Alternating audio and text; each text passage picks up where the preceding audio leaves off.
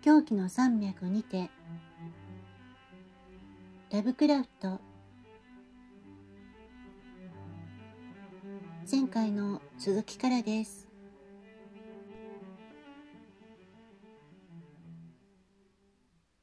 にもかかわらず我々の科学者魂と冒険心は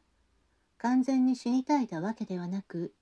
石組みを構成するすべての岩石種ごとに標本の再編を書き取る手続きを機械的に繰り返していった。この地の年代をより正確に決定するため何とか全資料を集めたいと願っていたのだ。大きな外壁の中にはジュラ紀及びコマンチ紀を下るものが皆無のようでこの場所全体で見ても精神性より新しい石材は一つも見られなかった。我々がさまよっていたのは少なくとも50万年以上。おそらくはさらに長期間この地を統治してきた死のただ中だったのだと厳格な確信を持って言える。石が影を落とす黄昏の中を進みながら開いた入り口を見るたびに立ち止まって中をうかがい侵入できるか確かめてみた。いくつかは手の届かない高さにあり、そうでなければ丘の法類同様に屋根がなく中を見ても荒れて氷に閉ざされた廃墟に過ぎなかった。一つの広々とした入り口は気をそそったが、底知れぬ深淵の上に口を開けていて、降りるための手段が何も見えなかった。時折鎧戸が残っていてその石化した木材を調べる機会があり今なお見分けがつく木目がほのめかす法外な古さに印象づけられた。それらの材料は中生代の種子植物や休暇植物特に白亜紀の蘇鉄および明らかに第3期の専用種子と初期の皮脂植物だった。全身性以降なのが確実なものは見つからなかった。鎧戸の固定法はうちには唐の昔に失われた奇妙な長板があったことがうかがえた。さまざまであり厚い朝顔港の外側のことも内側のこともあった。それらはおそらくは金属製だった固定用具や締め具が錆びてなくなった後もその場に引っかかったままとどまっていたのだろう。しばらくすると一連の窓が並ぶ場所に浮き当たった。無傷のままの頂上を持つ途方もなく大きな五稜の衰退脇の膨大部にあったもので中を見ると先は石の床を持つ保存状態の良い部屋になっていた。が窓が部屋の高いところにあったためローブなしでは降りられなかった。ローブは携帯していたもののやむを得ない場合ならまだしも6メートルも降りるのは煩わしかった。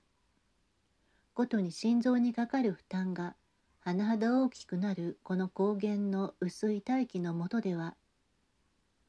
この巨大な部屋はある種のホールないしコンコースだったのだろう。懐中電灯で照らしてみると壁に沿って水平の帯状に一回りする形で何かハッとするような肉太の彫刻が広い帯となって明瞭に残っており彫刻の広い帯と帯との間は様式化された唐草模様からなる同程度に広い帯によって区切られていた。我々はこの地点を注意深くノートに記録した。もっと容易に内部に侵入できる地点がなければここから入り込むつもりなのだ。しかしついに我々はまさにおあつらい向きの開口部に出会った。幅1.8メートル高さ3メートルの坑道で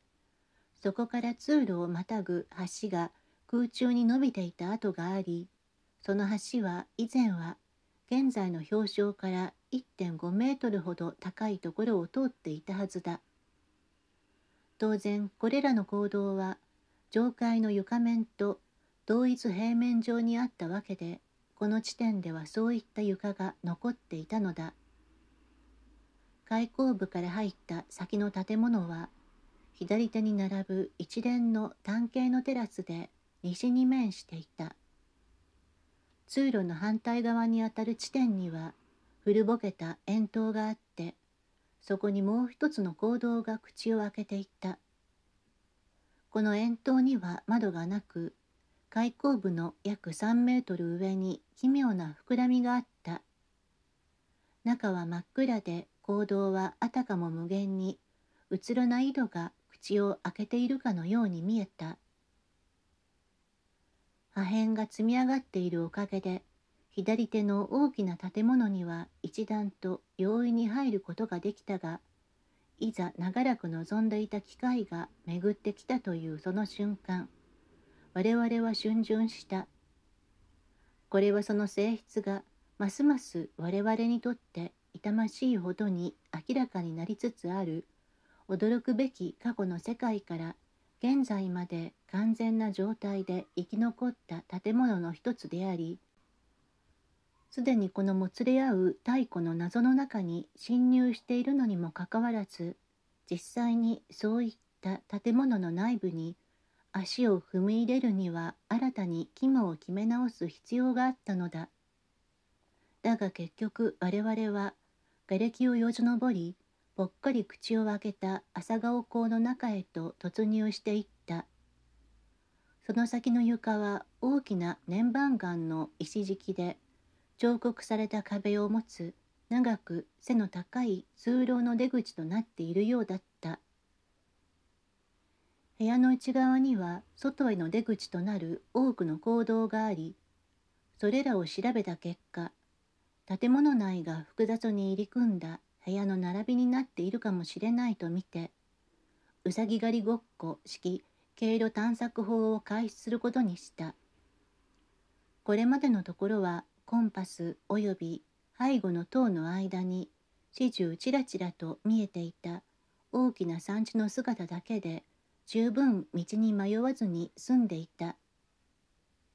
だが今の時点からは人工的な代替法が必要となる。そこで余分に持っていた紙を適当な大きさにちぎって袋に詰めダンホースに運ばせて安全性を損なわない範囲で倹約しながら使うことにした。この原子の石造り建築の中では強い空気の動きが一切見られなかったので多分この方法で迷わずに済むだろう。もし問題になるような気流が起こったり用紙を使い果たしたりしていたらより安全だが手間のかかる石削り式に戻ることもできる。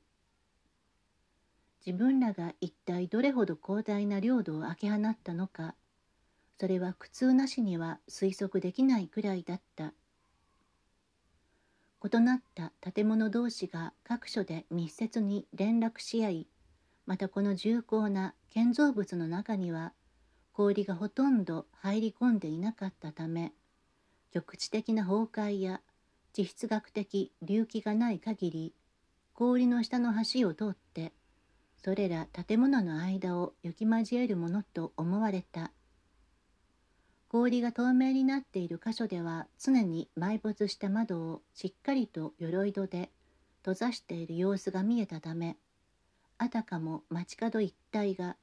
氷床によって都市の下部が結晶化される前から氷に閉ざされた後までその状態のまま残ったかのようだったのだ。